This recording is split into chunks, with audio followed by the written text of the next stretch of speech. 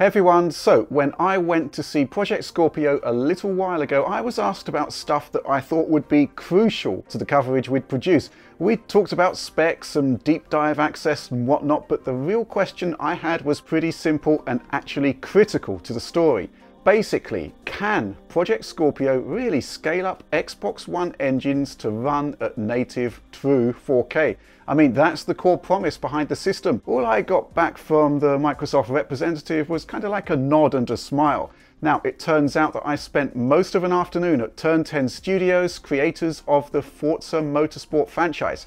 And yes, I did see Forza Tech running on actual Scorpio hardware. So what is Forza Tech exactly? Well, it's a platform on which Turn 10 can talk about new features, like uh, DX12 support on PC, for example and they can show new features without specifically making product announcements. And that's kind of important because, I mean, Turn 10 hand in new Forza games as regular as clockwork pretty much every two years. You can set your watch by them, so while we can fully assume that the upcoming Forza 7 will hand in similar results on Scorpio later this year, well, the game hasn't even been announced yet. A Scorpio specs reveal event isn't really the venue for doing that either. But this is Forza Motorsport 6 Apex running on PC at 4K at ultra settings and the significance of that will become evident shortly.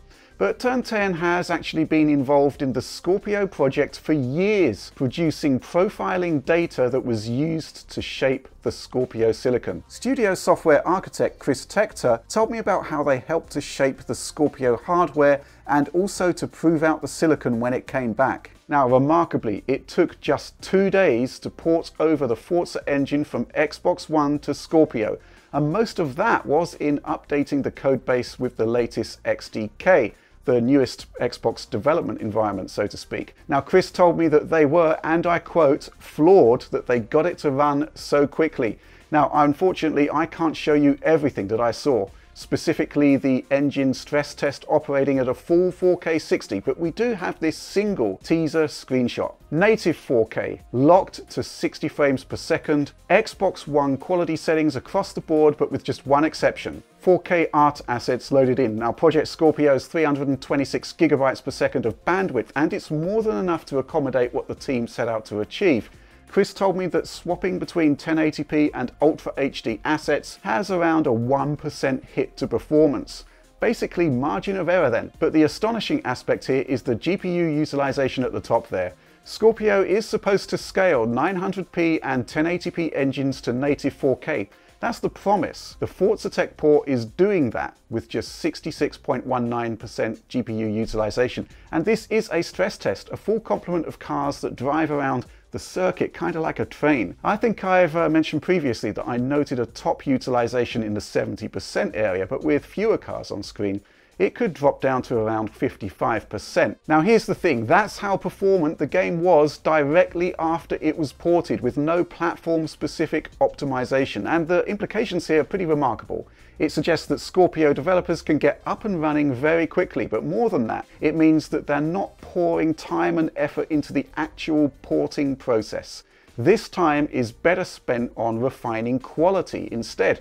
And in the case of Forza here, there are clear areas for improvement we can expect in a prospective Forza Motorsport 7. Yeah, so I mean, previously we zoomed in on that area of the track in the distance there. I mean, remember, we're effectively running at Xbox One quality settings here, so texture filtering isn't the greatest. I mean, it will be improved on Scorpio, but the point is that there's a large amount of GPU overhead remaining. Now, how much? Well, I asked Chris Tector what the equivalent load would be on Xbox One, and he said 14 to 15 millisecond render time. Translated to GPU load, that's about 85 to 90%.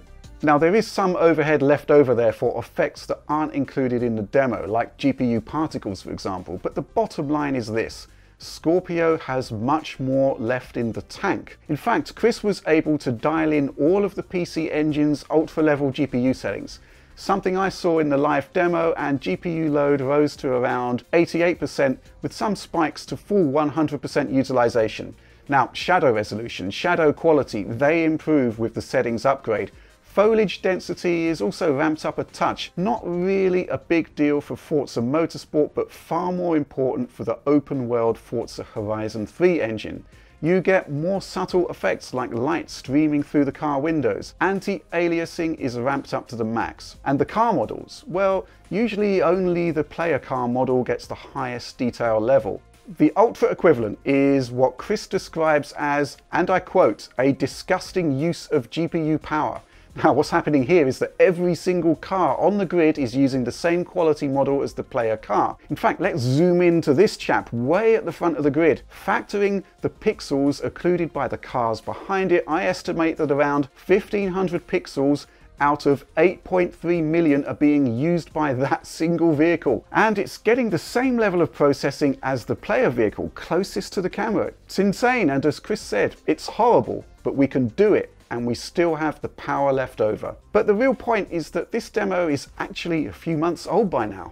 Assuming a Q4 launch for the next full Forza title for Xbox, the team actually has the luxury of time for optimizing for the new platform, putting system resources to better use, as opposed to brute forcing PC Ultra settings with diminishing visual returns. And yeah, from everything I've ever heard from console developers working with new hardware, this is pretty much unprecedented.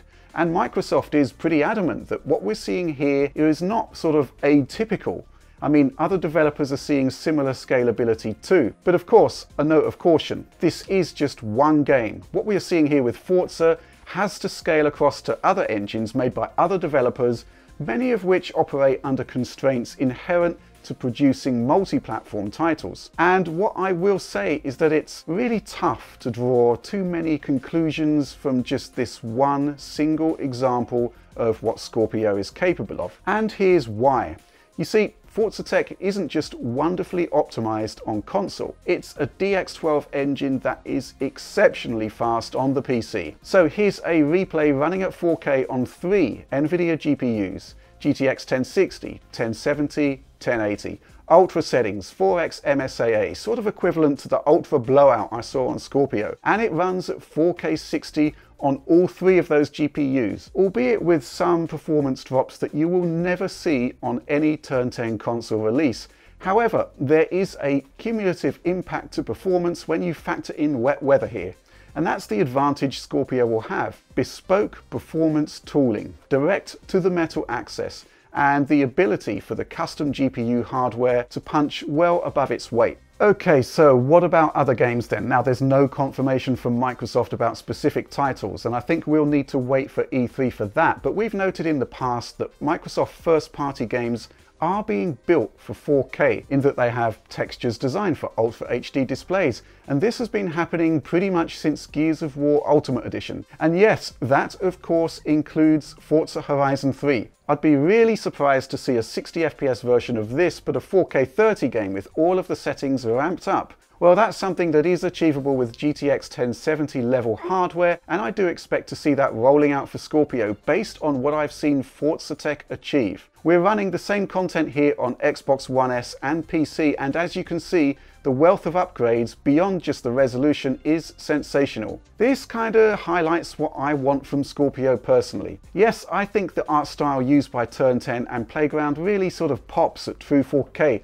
in fact, I can't recall a single Forza title that hasn't run at native resolution on its respective hardware platform. But what's clear from the comparisons is that the extra overhead Scorpio offers over a basic Xbox One port could make a big difference. And yeah, the crucial thing is it's not about just scaling up the pixel count. I mean, Scorpio does that, but it's about doing more hopefully much more. But beyond that, I'm not sure I have much to add. But Microsoft and Turn 10 definitely do, so I'd highly recommend popping down to the video description below and clicking through to our articles on Eurogamer where you can find out much, much more. But hey look, we've got more Scorpio stuff in the pipeline, so remember to like and subscribe so you don't miss a thing. We've still got some big Scorpio exclusive information to reveal, so look out for that.